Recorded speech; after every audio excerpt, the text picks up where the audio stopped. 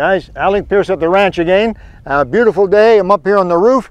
Uh, I come up here quite often. It's, it's a nice roof. No, I come up here because first of all, our roof is very accessible. Uh, it's very easy to get onto the roof, and and we clean the chimney and we check the roof and other things as well. And the view is fantastic. I have no neighbors, so we can see for about uh, four or five miles in every direction. I can see the next little town, that's three and a half miles away. I can see the water tower. I can see Lake Simcoe and all kinds. It's just a beautiful spot. So it's fun to come up here. We used to come up here, I was telling Kevin earlier, my son and I used to come up here when he was eight or nine or 10. And we'd, in the evening, we'd bring up a couple of sleeping bags and pillows and we'd lay up here and watch the shooting stars at night. Yeah, because you know, there really is a Milky Way. It's not a chocolate bar. It really is a, it really is a, a formation in the sky, you know. anyway, uh, and we watch the shooting stars and the satellites and all kinds of neat stuff. No lights here. We don't have any outdoor lights when we turn them off. It's just beautiful. Anyway, I wanted to show you something that's been a really, really enjoyable uh, uh, thing for us to experience, and that's our weather station. When you live in the country, the weather is very, very important. And, and uh, it's hard to get very accurate weather, well, it's hard to get accurate weather information anytime. It seems those meteorologists ought to go back to school. But anyway, uh, uh, if you're in the city, it's not such a big deal. But in the country, the weather is critical. We have hay for our horses. And we need three days with no rain whatsoever in order to bring the hay in, and other reasons as well. So it's really, really nice to uh, know what the weather is and what it's going to be and have a feel where the wind's coming from and the strength, the temperature, all those kinds of things. And you can do that. You can be your own weatherman, your own meteorologist if you like by simply purchasing one of these simple devices. Now there's lots of them on the market. We've we found this one uh, is made by Davis Davis Instruments to be particularly good. Now they specialize in making uh, both uh, consumer and, and, and professional quality weather instrumentation. So this is a kind of instrument uh, similar to this anyway that even a professional would use. And uh, very simple. It comes in a, just this white thing on the top here and I'm mounted it on a um, I think that's a two inch, inch and a half or two inch uh, piece of uh, fence tubing the top tubing for uh, for chain link fencing. And fastened it uh, to the uh, to the wall there to the roof solidly so it's good and solid. We get a lot of wind up here. We've had winds up here sometimes as much as 70 miles an hour which is pretty strong.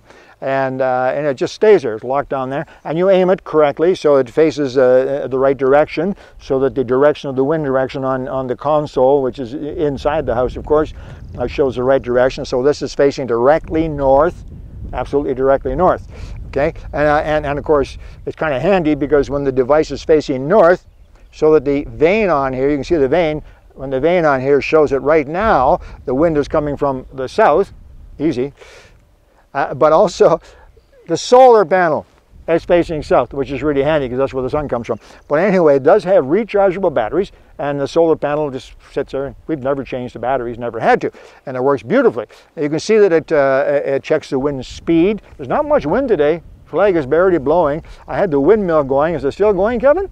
The windmill is just turning, but it only takes you about three miles an hour to turn that windmill. So it's not much wind today, but the anemometer is spinning pretty good. Uh, the weather vane shows the wind direction, and it has a, a, cup on the top that shows your rainfall, which in a lot of areas of the country is very, very important. It actually fills up, and then after a certain amount gets in there, it dumps it automatically, measures it and dumps it, fills up, it dumps it, slick. Of course, it has temperature and humidity, all of those things. One of the nicest things, we found, and I'm going to show you the, the, uh, the console, the inside console in just a moment. It shows minimums and maximums.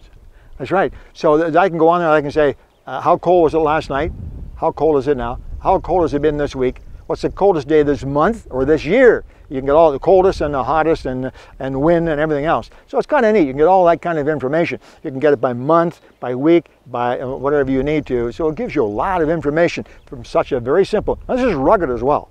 We've had this up here for, uh, I think this is seven years. Never had to replace it. I've had it down, cleaned it off once in a while. I did replace the anemometer, the little reading device in there got sticky. It was refusing to read. And just this is not a pitch for Davis Instruments, but just to give you an idea what kind of company they are, I called Davis Instruments, gave them the model and serial number, explained the problem, and the fellow said, how long have you had it? And I said, oh, five to seven years at least.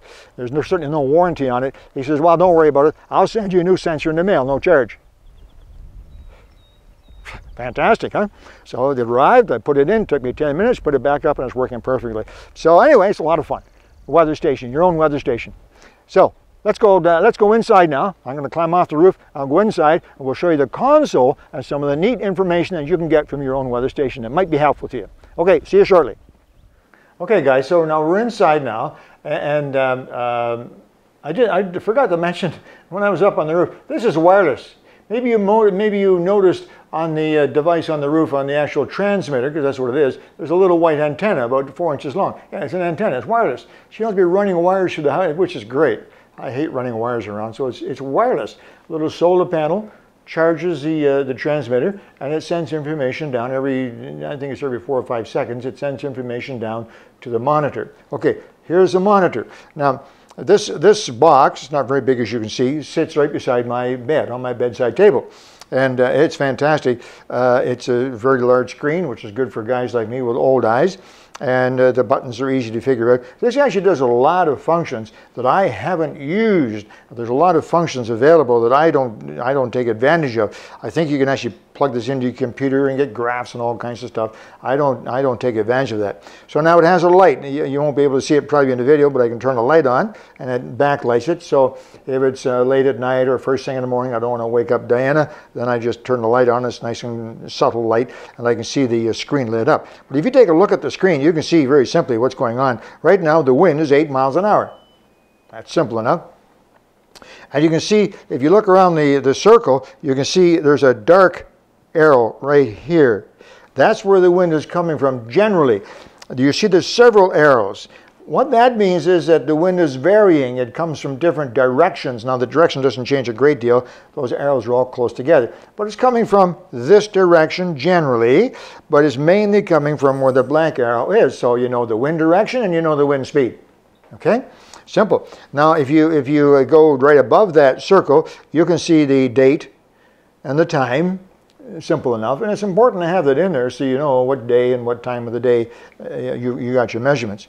Now over on the right hand side over here, it shows the inside information. So right now it's 77 degrees in this room, our kitchen.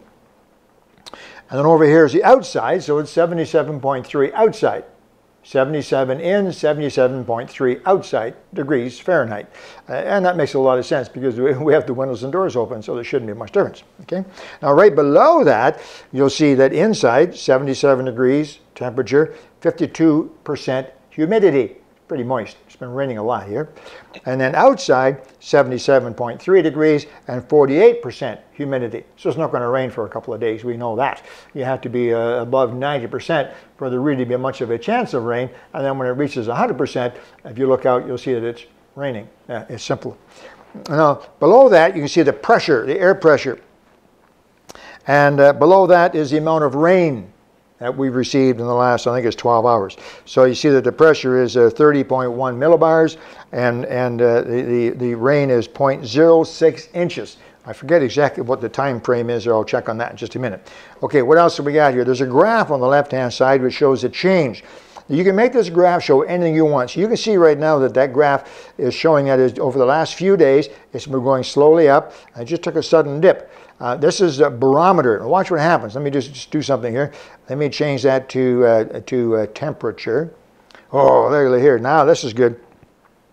You can see the graph now, if you look at it. I hope you can see that anyway, Kevin. You see the graph was steady and then it dropped suddenly and went back up. That's the temperature, which it does here in Ontario. Where, where we live here, the temperature varies a great deal. I have some, some wonderful friends who live in Florida and some in California, and they're always bragging about their weather.